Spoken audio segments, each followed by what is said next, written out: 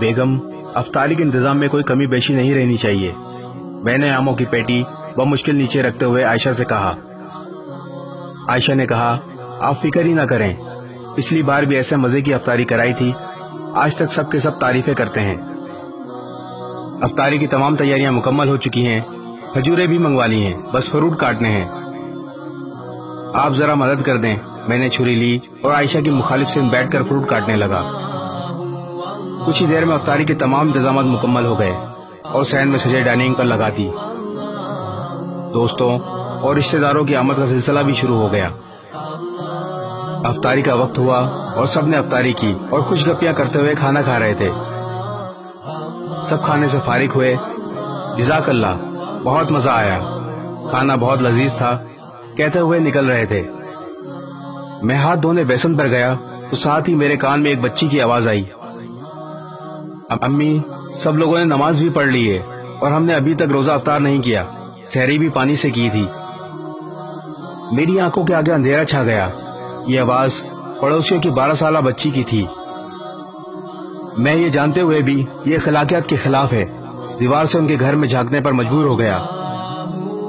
دیکھا کہ وہ بچی اپنی ماں کے سر پر کھڑی تھی اور اس کی ماں چارپائی پر سر جھکائے بیٹھی تھی۔ میں یہ سب دیکھ کر جیسے پتھر کا ہو گیا۔ اس کی ماں نے سر اٹھایا تو نظر مجھ پر پڑی۔ اس کی آنکھیں آنسو سے بھری تھی مجھ پہ نظر پڑتے ہی زبردستی مسکرائی اور چادر سے آنسو پہنچتے ہوئے کہنے لگی، بھائی کیسے ہیں آپ؟ یہ لڑکی بہت ضدی ہے۔ ابھی کھانا کھایا ہے اور پھر ضد کر رہی ہے۔ میں یہ سوچ رہا تھا کہ افطاری کرتے وقت جب سب بار بار کھانے کی تعریفیں کر رہے تھے تو وہ سب انہوں نے بھی سنا ہوگا۔ تو کیا بیتی ہوگی ان پہ؟ میں نے اپنے آپ کو بڑی مشکل سے متحرک کیا اور بجلی کی تیزی سے باہر کی طرف لپکا اور بازار کی طرف بڑھا۔ وہاں سے ہر وہ چیز جو میں نے افطاری میں کھائی تھی لے کر واپس آیا۔ اس بچی کی باتیں اور بیوہ کے آنسو اس سے برداشت نہیں ہو رہے تھے۔ میں نے آدھے گھنٹے کا سفر دس منٹ میں طے کیا اور آ کر دروازے پر دستک دی۔ بچی نے دروازہ کھولا، مجھ پہ نظر پڑتے ہی مسکرائی۔ آپ دیدہ آنکھیں خوشی سے چمک اٹھی وہ بیوہ خاتون یہ سب دیکھ کر بلک بلک کے رونے لگی۔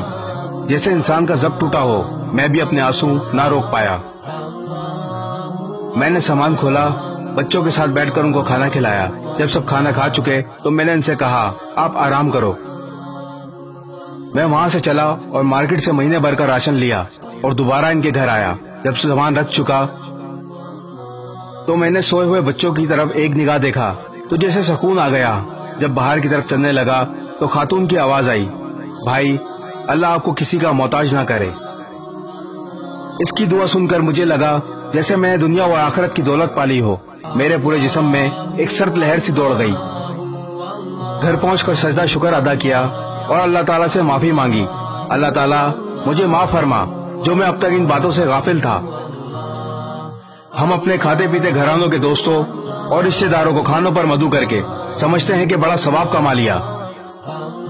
لیکن اس بارے میں کبھی نہیں سوچا کیا ہماری طرف سے مستقین تک ان کا حق پہنچ رہا ہے۔ ذرا نہیں، پورا سوچئے۔ اس ویڈیو کو شیئر ضرور کریں۔ ہو سکتا ہے آپ کے ایک شیئر سے یہ بات کسی کے دل میں اتر جائے۔